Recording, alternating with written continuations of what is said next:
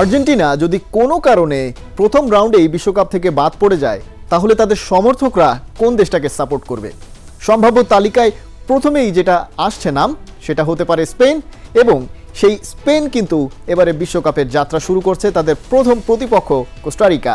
Argentina যেহেতু বিশ্বকাপে হেরে গেছে, তাই স্পেনের দিকেও একটু বাড়তি নজর আর্জেন্টিনার সমর্থকরা নিশ্চয়ই রাখতে চাইবেন। আর কোস্টারিকা তাদের প্রথম প্রতিপক্ষ এবং বেশ সহজ প্রতিপক্ষই বলা চলে। তার কারণ গেল বিশ্বকাপে কোস্টারিকা খেলেছিল ঠিক, কিন্তু কোনো ম্যাচ জিততে পারেনি।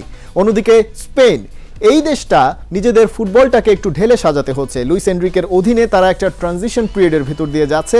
পেদ্রি, গ্যাভি কিংবা আনসু ফাতির মতো তরুণ ফুটবলারদেরকে নিয়ে কিন্তু নিজের দলটাকে সাজিয়েছেন লুইস এনরিকে। এবং এই নতুন দলটা বিশ্বকাপের মতন বড় আসরে কেমন পারফর্ম করে, সেটাও কিন্তু এখনও পরীক্ষা নিরীক্ষা করে দেখার সুযোগ হয়নি সেভাবে। এবং কোস্টারিকা এই নতুন ফুটবলারদেরকে কতটা শক্তভাবে পরীক্ষা নেবে, সেটা কিন্তু অনেক গুরুত্বপূর্ণ বিষয়।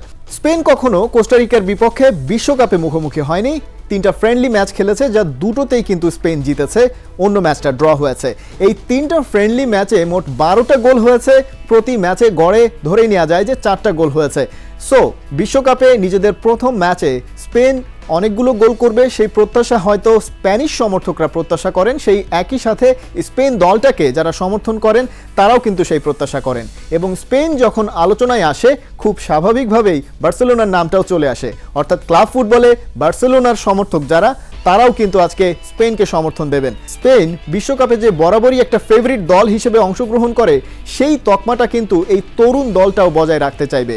আমরা জানি স্পেন দু সালে বিশ্বকাপ জিতেছে, কিন্তু একবার বিশ্বকাপ জিতলে পরের বছর খুব একটা সুবিধা করতে পারে না দলগুলো। স্পেনের ক্ষেত্রেও তেমনটাই হয়েছে।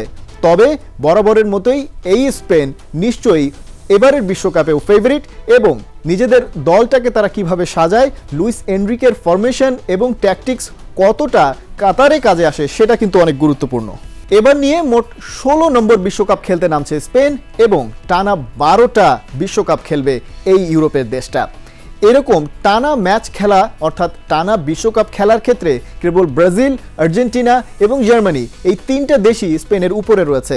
বাকি সবারই একটা গ্যাপ রয়ে গেছে টানা খেলার ভেতরে, অর্থাৎ বিশ্বকাপে টানা সুযোগ পাওয়ার ক্ষেত্রে কিন্তু ধারাবাহিকতা বজায় রাখতে পারেনি অন্যরা, যেটা কিনা পেরেছে স্পেন। আর সে কারণেই এই স্পেনের যে লিগাসি এই স্পেনের যে ক্ষমতা, এই স্পেন দলটার যে অভিজ্ঞতা এবং স্পেন নামটার যে ভার, সেটার উপরে ভরসা করছে স্পেনের সমর্থকরা।